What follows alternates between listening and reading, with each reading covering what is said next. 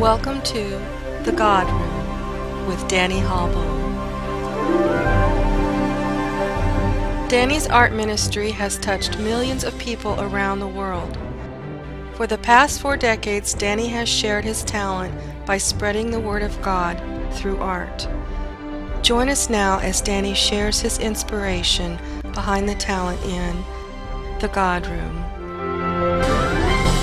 Hi, welcome to The God Room. I'm Danny Hahlbohm, and this is my beautiful wife, Diana Hello. Hahlbohm.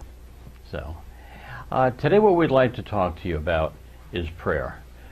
We have, you know, there is, I know you've heard this many times before, but there is spiritual warfare out there, and we're in the midst of it. As a matter of fact, we're probably toward the end, almost where Jesus is coming again. And you've probably heard that before too. But things are really lining up in Israel to where it's going to be the end here soon. And there will be a really strong warfare going on, already is going on. And we need to fight for God. And our biggest weapon, one of our biggest weapons that we have in this spiritual warfare is prayer. You know, it's not going to, we're not going to be pulling out swords and bows and arrows to be fighting the enemy. Angels don't do that. They fight with words as well. Mm-hmm. And it's all our words that give us the power, you know, to to make sure, you know, to go in line with, with God. And you know, we need to know any any if you're in a war, mm-hmm. you know, if you're in a wartime and you have a gun, it doesn't do you any good to have that gun with you if you don't know how to use it right. I mean, you need to know how to use the gun, you know, to effectively be a soldier for the army that you're with. And we're with the army of God. And so what I'd like to share with you is, you know, how to use the weapon that you have, your rifle, your power of prayer. And what I'd like to do is, is uh, I'd like, like to bring up a couple Bible verses first. James 5:16 it says the effectual prayer of a righteous man availeth much. And in 2 Corinthians for he has made him to be sin for us who knew no sin that we might be made the righteousness of God in him. And even Romans 3:22 says even the righteousness of God by which is by faith of Jesus Christ unto all upon them that believe, for there is no difference. So what we're saying is, you know, your your biggest weapon is is your is your prayers. And because we are made righteous in Christ, by ourselves we have we are not righteous. Now, in fact, Paul says we're filthy rags. I mean, we are. If you really look at our lives, mm-hmm. you know, we have no right nor authority to go anywhere even close to God and bring our prayers to Him. But because of Christ, we have now the righteousness of Christ on us. So when God Yes. looks at us, He actually sees Christ, Yes. and we have that authority to come before the throne of God. As Paul, as Paul says, to have the boldness to come to the throne of God. Do you understand what that means? And and this is important in prayer life. I've, I've been teaching this to my sons for a long time and still am teaching them and teaching myself. I mean, you know, it's funny when we teach anybody that is, you know, teaching, especially if the Spirit is working through you, and that's the only way that I like to teach, is a lot of times when we teach, actually, we are Oh, the student yeah, as well as the teacher. You know, the Spirit is speaking through Holy us, and the words we're saying, there's a part of us that's sitting back going, oh, that's cool. I didn't know that. I have that happen to me all the time.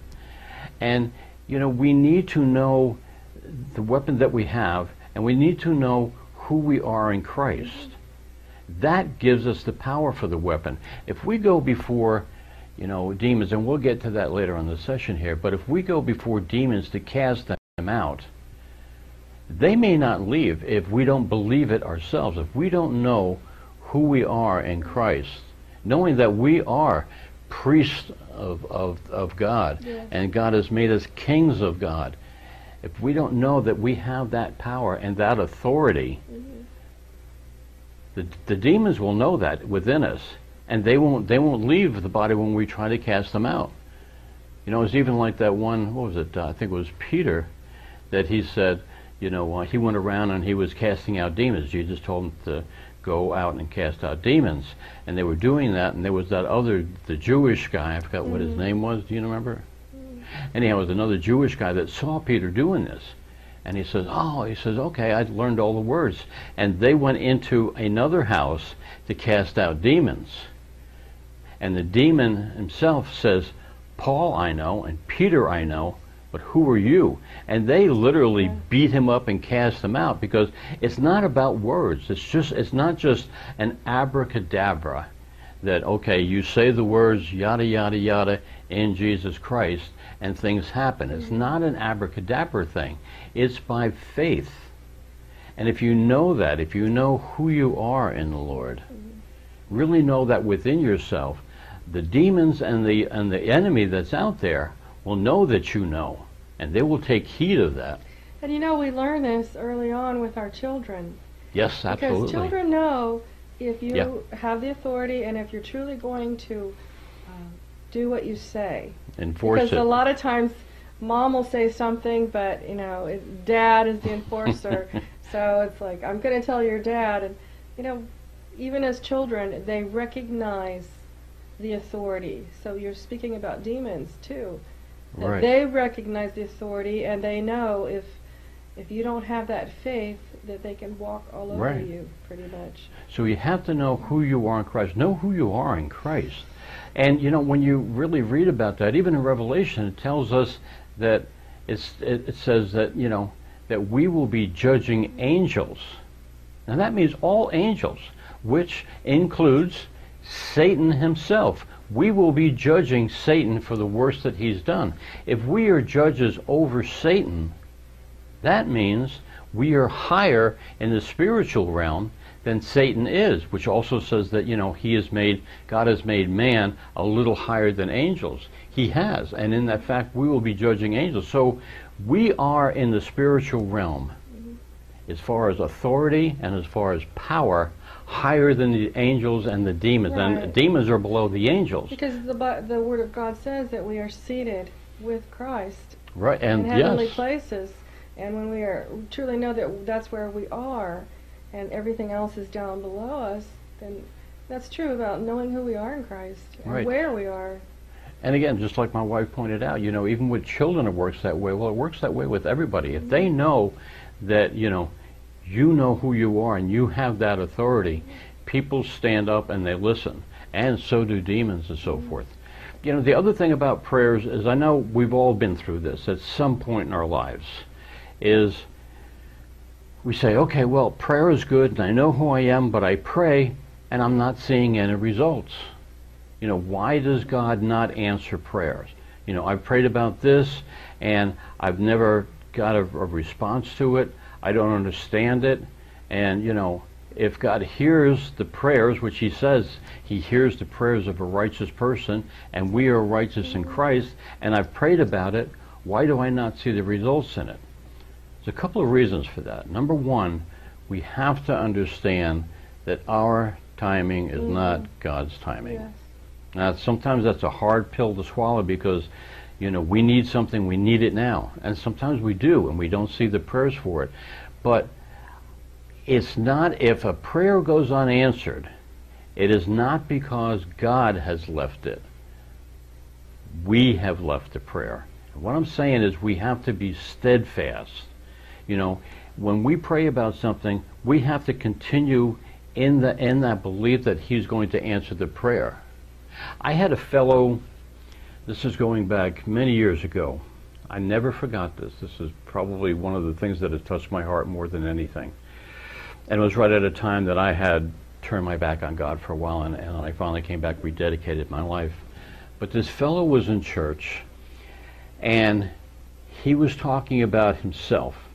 And he had been, um, he was in a music career, and he was doing a lot of things, and was, was quite well known at this time. And he had a father that was a Christian that was praying for him.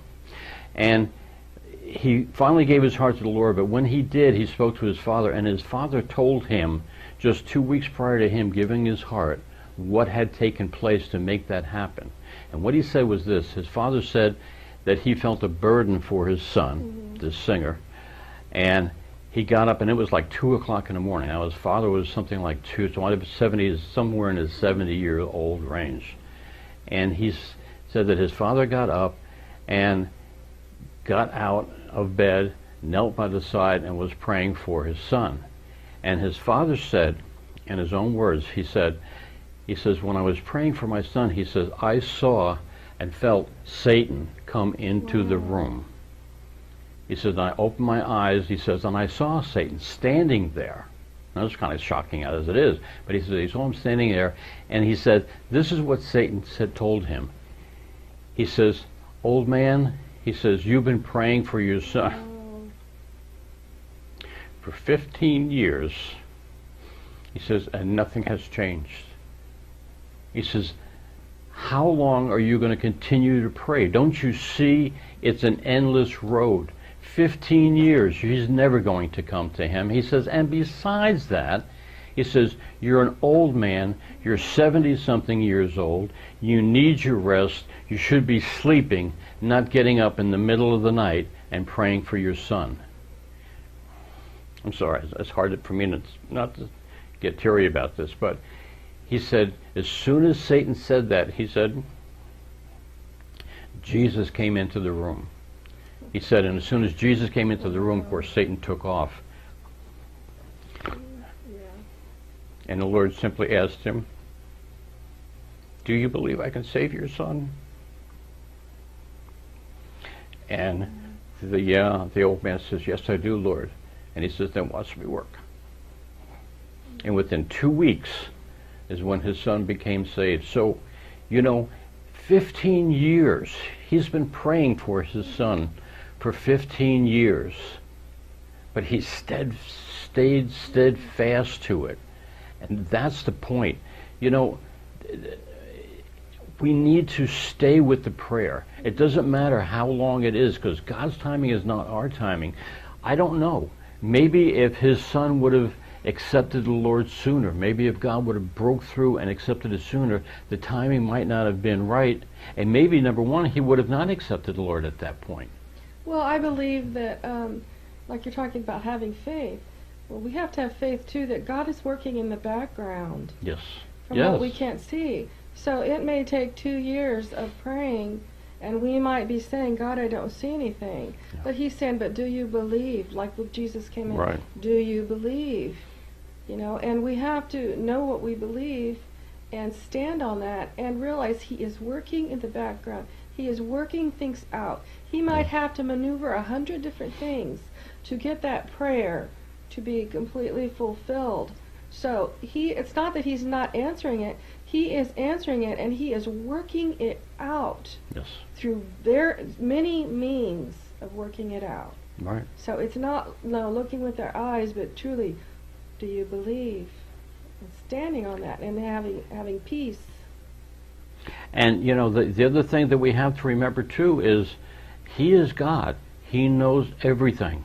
And sometimes we might pray for something and we think, God, you know, you've got to answer this prayer. I need my finances met. We went through that ourselves. Mm-hmm. We were in a financial drought at one point, and we prayed about it and prayed about it. The more we prayed about it, the lower it got. But it came to a reason why God lowered our finances so far down that we were put into a place that we had to have low finances for us to have that miracle. So sometimes the answer to our prayers is a no. But even if it's a no, it's not a no like, no, I don't care about you, or no, I don't care about the situation. It's a no for our benefit. He always, God always has our best benefit in, in or mind. Or it's a no because God is saying, whatever you're praying, I've got something better. Right, okay, better. same, better Because we better don't always to put it. know His will in a situation. Right. And we might pray according to what we think would be the best answer. But He sees all things and it's because he has something better, and it's still, we can wait and be in peace as we wait and not go through turmoil and stay steadfast, right. believing Him. Well, you know, and that brings up another point, too. In prayer, you know, we, we pray about things. You know, we need finances. We need healing. We need all these things that we, you know, Yeah. that we're praying for. But, you know, God, you know, we look at things that we need things changed. God, I don't think, I can't say never, but I can say most of the time, if not the vast majority of the time, God is not looking at things to change things in our life. He's looking at prayers to change us Right. you know and you know to to change us all right let, me give you an example. In elijah okay elijah he was with the king and they, they had a drought for a long period of time and he was praying for rain. And he had a, a, a servant with him and he, he was praying for rain and he was with the king and he told him he says okay well i'm praying for rain for you. Mm. And he sent his servant out to go over the hill to go see if there was any clouds and there was not a cloud in the sky. He came back again and he says no he says no master there's no clouds in the sky. He says well i, I know there's, there's, there's clouds coming. Go take a look again. And he went out again and he came back. He did this mm-hmm. seven times. And then finally he came back and he said, after the seventh time, now seven times, he made it a, basically a fool of himself and stood in front of the king. He's going, yeah, okay, here we go again, another time. And the seventh time he came back and he said, well, there's a small cloud. And as soon as he said that, Elijah said, King, go get your chariots and get out of here because there's a storm coming and you're going to be caught in the mud and you won't be able to get out. And that's exactly what happened. But when you look at that scenario, look at what took place. Number one, God answered the prayer, but he waited seven times. Why did he do that? He could have done it the first time. He could have made it rain just like that with, within a, a, a, the split second that Elijah prayed. Number one, he was testing Elijah's. How much are you going to stay to, true to your faith? Mm-hmm. Are you going to hold fast to it, or are you going to say, well, I guess that's it. I, I guess I misunderstood. And we do that a lot too. And after the seventh time, he made the cloud, but the Bible says it was the cloud of a small hand, which means you could barely see the cloud out there. That's not enough to make a torrential rain. But it was enough for Elijah to say, ah, and his faith. See, God wants us to be interactive in everything that He does. I mean, we've said this many times. Even the the second coming of the Lord, and you know, for Him to take over the whole earth again, God could do that in a, in a second with the Word. Just boom, and it's done, and everything is is taken care of. He is going meticulously through a certain process that involves us mm-hmm. as you know saints, so that we can share in that glory when it Oh. finally does come. That's great. Yeah. So this way here, our workings, he could take care of it like that, but he wants us to do it so we share in the glory. It's like, again, anytime I try to think of God and what he's about, I think of a father and, and child mm-hmm. relationship. And if you think about it with your kids, okay, dad's working on a car, and he can, mm-hmm. you know, get this thing wrenched up, and he's got his son with him, and his son is like, "Oh, daddy, can I do it? Can I do it?" His father can do it in three turns to get it Oh, done. But he gives it to his son. He says, "Okay, son, here you go, and you do this and you do that." And he's struggling with it, and he's struggling with it, but he finally gets it. Mm-hmm. Now, when it's fixed, the son is all proud. Oh, I fixed the car, whatever. And his father shares in that glory, and his son shares in that glory. So they've shared the glory of fixing the car, rather than the father said, "No, I can do it easier." Yes, boom, boom, boom, and take good. off. Mm-hmm. And God is doing that with us too. So it's the same thing, you know. He could have fixed this thing with Elijah, but he wanted to see just, you know, how much Elijah is going to hold on to his faith.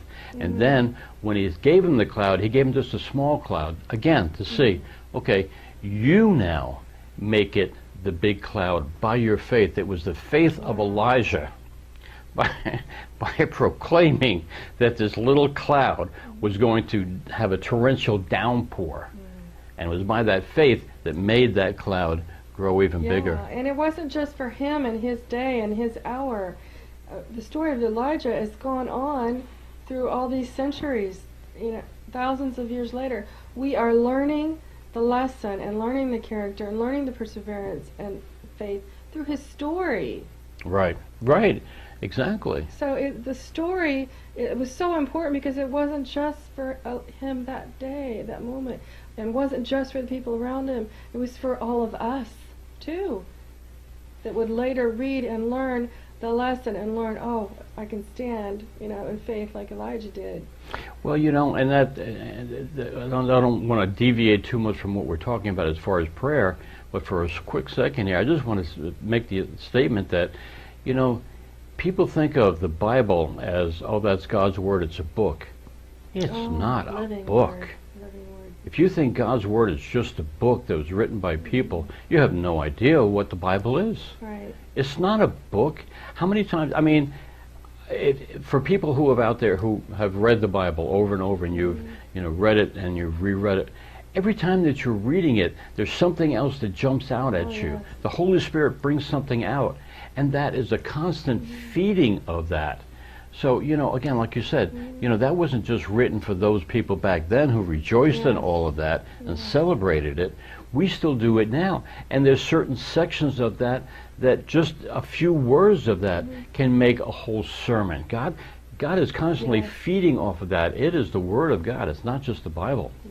And speaking of words, we need to know not only who we are in Christ for our, our prayers to be, you know, that powerful, but we also need to know the power of just our words alone. Mm-hmm.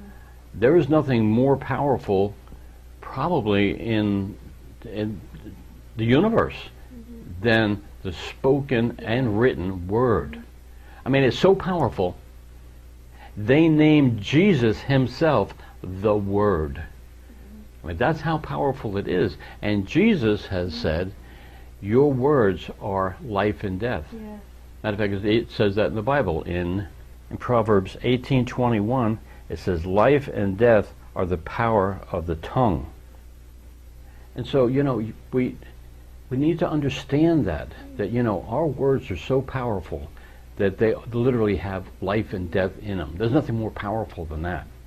So speaking the words is yeah, important. And, and there are times when we don't know what to pray, but we can look up scripture. A lot of times I go online and look up a topic that I need scripture on, and I speak that scripture over that situation. right. So when we speak the word of God over it, and because the word of God never comes back void, our faith, I mean, we have no struggle with faith when we know speaking the word of God is going to produce something.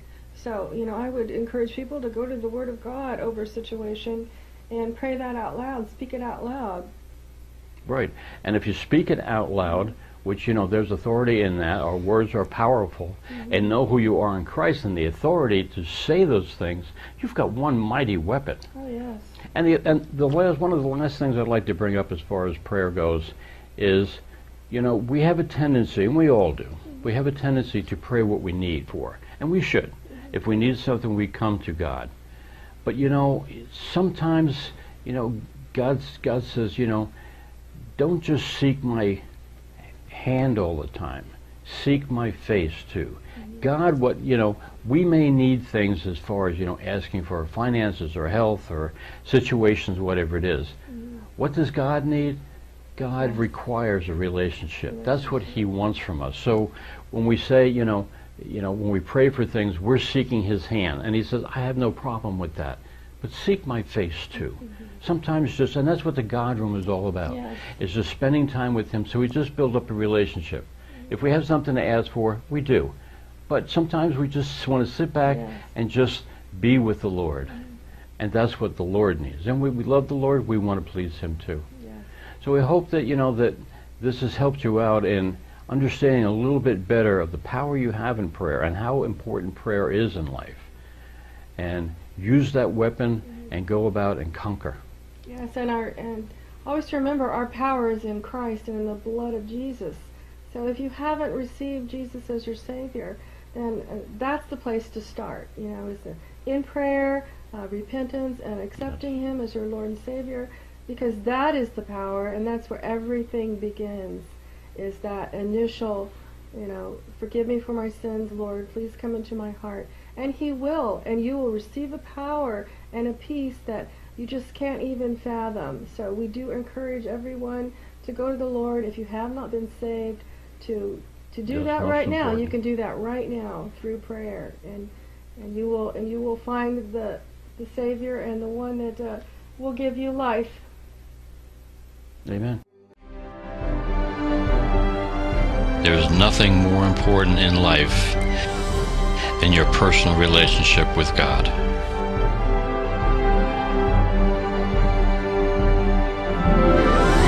Nothing.